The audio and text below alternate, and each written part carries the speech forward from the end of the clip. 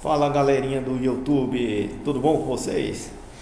Então, nesse vídeo de hoje vou estar apresentando esse micro-ondas aqui, ó da marca Brastemp, modelo B, B, BMS é, Jet Defrost 27 litros. É o seguinte, galera, é, eu peguei esse micro-ondas, não estava acendendo nada na tela, a, a placa não estava funcionando. Aí eu tirando a, a placa fora, é igual a essa aqui, ó, tá? A, a, a placa desse micro-ondas é igual a essa, só que eu tirei a, a, os comandos aqui da frente, que tem outra placa aqui, ó, que faz o comando que vai nesse cabo aqui, eu cortei. Essa placa aqui é uma placa velha. E me deparei com esse fusível aqui, ó, aberto. Esse fusível aqui, ó. Ele é de 4 amperes, 20, 20 250 volts e estava aberto. Aí eu fiz essa substituição desse fusível aqui, ó. Normalmente quando essa dá um pico de energia, costuma muito queimar esse fusível aqui desse, desse, desse micro-ondas, né, desse modelo, todos, todos.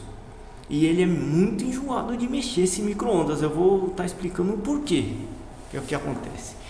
Me deparei com a placa queimada, troquei o e também com a chave de porta também, tá? Uma chave de porta ruim. A, a chave a, a chave lá da, da direita, lá no fundo lá também estava ruim. Aí eu falei, caramba, não estava funcionando nada, né? Aí beleza, aí eu fiz a substituição da chave e tal e voltou, voltou a funcionar. Só que toda vez que eu abria a porta dele, Toda vez que eu abri a porta dele, aquele resistor verdinho ali, ó, é que não dá para ver o valor dele, ele é de 7 watts. Ele começava a fumaçar. Conforme você abria a porta dele, ele ele fumaçava aquele resistor. E provavelmente alguma coisa em curto, ou fiação de chave de porta é, trocada. Aí eu vasculhei todo o YouTube, todo YouTube e descobri um, um rapaz que passou o esquema dessa, dessa fiação de chave de porta. Aí eu, eu me deparei que estava normal, né? Estava normal a fiação, tudo. Mas por que estava fumaçando? Eu fiquei, perguntei para o meu amigo aí, o Roberto Bin Laden, tudo. Ele falou que poderia ser curto na placa. Perguntei até para o Valdemar Gomes que ele estava arrumando também um micro-ondas igual a esse, que estava com com a fiação de chave de porta trocada. Ele falou também que o cara fez de má fé lá. E eu pensei que tava a mesma coisa e fui fuçando aqui, né? Tudo com, com segurança, galera. Na lâmpada série, entendeu? Nada de tocado na energia e fazer esse tipo, mexer nesses, nesses fiação da chave de porta. Aí beleza. E nada, e nada. Eu abri a porta, troquei de placa também. Eu tenho mais uma placa dessa. Só que a minha outra placa é do, é do grill, é do, do modelo grill, mas também serve nessa, mas não fumaçando, mesma coisa. Eu falei, caramba, e agora? Testei todos. Esse micro-ondas, ele tem um, um varistor aqui, ó, ligado em paralelo com a rede. Até pensei que era ele, troquei o varistor, né? Esse varistor só dá para testar ele no multímetro analógico, tá? Esse varistor aqui, ó. Você pega o multímetro analógico na escala de X10 e vê se ele está passando continuidade. Se ele estiver na escala de X1 é, passando continuidade, significa que ele está em curto, mas esse estava normal. Mesmo assim, por cargo de consciência, eu troquei. É beleza. E mesmo assim, fumaçando. Mas eu acredito que esteja curto na placa. Aí a fiação aqui é o seguinte essa chave da, da, da esquerda, essa de cá do fio azul, ela, ela manda um, um, ela vai na placa lá, certo? É entrada de energia também. E esse fio amarelo que está solto aqui, que vocês estão vendo, ele faz interligação na, na chave da, lá da direita, no pino de baixo, que vai seguir, vai dar aqui no, no relé certo?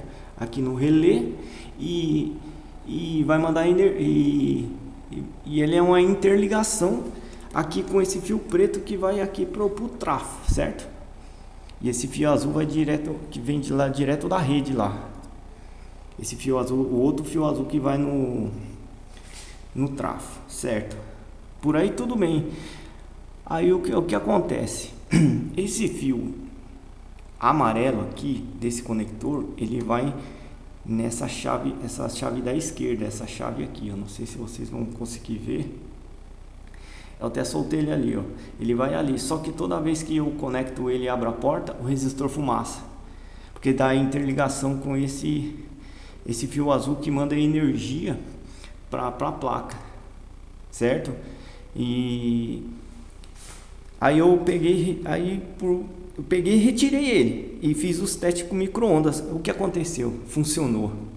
Abri a porta normal, ó. Ele tá solto, ó, galera. Ó, viu? Ele tá solto. Aí eu abro a porta normal. Ó. Não fumaça, acende a luz normal, a ventoinha roda no, no caso, quando você conecta, é, deixa ele conectado naquela primeira, essa chave da esquerda aqui, ó, essa chave da esquerda, quando você deixa conectado, quando você abre a porta, a luz nem acende, ele já fumaça lá o resistor ali, ó, porque esse fio azul aqui, ó, ele também manda energia para a placa. Eu desconfio que é, que é curto aqui na placa, certo? Eu desconfio. Só que eu nem vou mexer porque eu não sou técnico na eletrônica, eu sou um função. Mas eu entendo algo de eletrônica. Mas eu verifiquei na placa estava tudo normal e as três placas estavam com esses mesmos sintomas. E eu tirando esse fio, moral da história, eu tirando esse fio amarelo aqui, ó, que faz um jumper com a outra chave aqui, ó, tira ele de baixo, ele vai funcionar normal, seu micro-ondas sem fumaça ao resistor. Essa é a jogada, ele vai funcionar. Aí ele está esquentando normal, ligando normal, eu acredito que isso vai ajudar muita gente, mas o porquê eu não sei. Esse micro-ondas aqui desse modelo é muito enjoado de estar tá mexendo, tá? E tem outro macete também que eu vou ensinar para vocês. É o seguinte. Esse, esse fio amarelo aqui, ó. Esse fio amarelo desse pino branco. É, ele sempre deve ser conectado nesse fio da, da, da, da esquerda aqui, tá? E esse fio preto no outro lá. Por quê? Se você inverter, vai dar erro aqui no painel.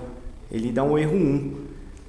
Você sempre deve ter conectar esse fio amarelo aqui desse plug branco, conector branco, nesse pino da esquerda, para não dar esse erro. Erro 1, ele aparece na, na no painel. Ele trava tudo o micro-ondas.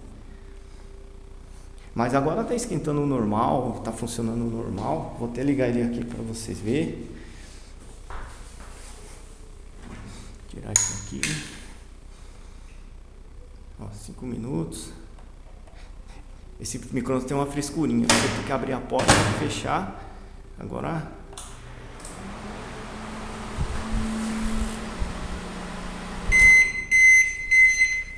funcionou normal. Então essa é galera, é a moral da história. Deixa eu pegar aqui a lanterna. Moral da história. Vocês podem estar soltando aquele fio amarelo ali se acaso acontecer isso com você. Só deixar uma chave ativa. Eu acredito que essa chave aí seja de proteção, ou seja, quando o micro-ondas abrir a porta com ele ligado, ele vai dar uma, é uma chave de proteção, mas eu vou falar para o cliente não abrir a porta quando o micro-ondas estiver ligado. Porque eu, eu fiz já de tudo nesse micro-ondas aqui, quebrei dois dias a cabeça com esse micro-ondas, não consegui arrumar ele. Só agora descobri esse macetinho, tá? Aí eu quero estar tá passando para vocês se vocês tiverem essa dificuldade. Aqui tá meio embaçado para ver o esquema de chave de porta, mas aquela chave da direita, ele é um fio preto com azul na, no primeiro pino. E o de baixo, no pino de baixo, é um amarelo, que faz interligação com esse daqui, ó, esse amarelo que está solto. E nessa chave da esquerda, ele é um, um fio azul que, que vai lá para a placa. Se caso você se queira o esquema de, de chave de porta. E essa chave de baixo aqui, ó, é um fio cinza no primeiro pino. Aí no de baixo é o fio preto. É o fio preto na, na no conector do meio. E o, o lado de baixo é o vermelho com marrom no de baixo. Mas é isso aí, galera. Se vocês gostaram desse macetinho aí, dê aquele like e pode crer que não vai fumaçar mais o resistor ali você fazendo esse esquema. Você desconecta aquele fio ali, ó. Aquele fio amarelo, beleza? Até a próxima. Abraço.